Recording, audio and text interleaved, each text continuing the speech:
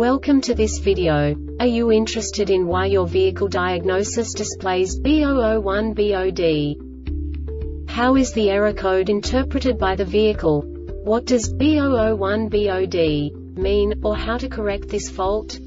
Today we will find answers to these questions together. Let's do this.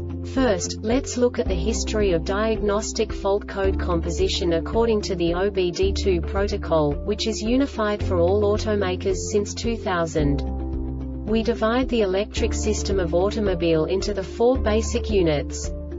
Powertrain, body, chassis, network. This distribution is defined in the first character code.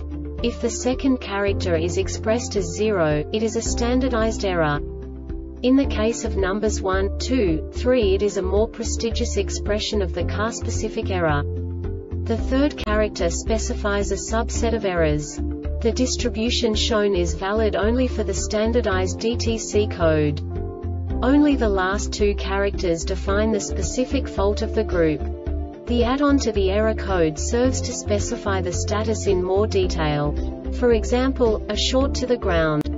Let's not forget that such a division is valid only if the other character code is expressed by the number 0.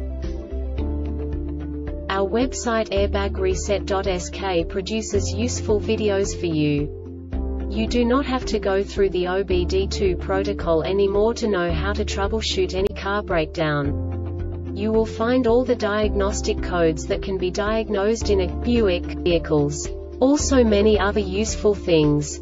The following demonstration will help you look into the world of software for car control units. You unbelievably can move the video a bit further. The error code is split into two bytes consisting of 16 bits. One bit is the basic unit that each computer works with. The bit has two logical states.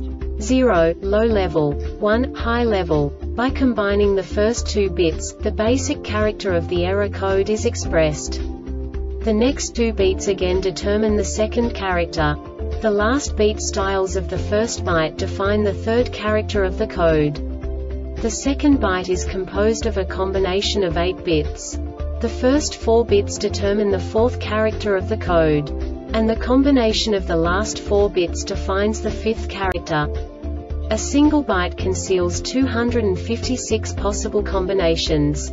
We now know in what way the diagnostic tool translates the received information into a more comprehensible format. The number itself does not make sense to us if we cannot assign information about it to what it actually expresses.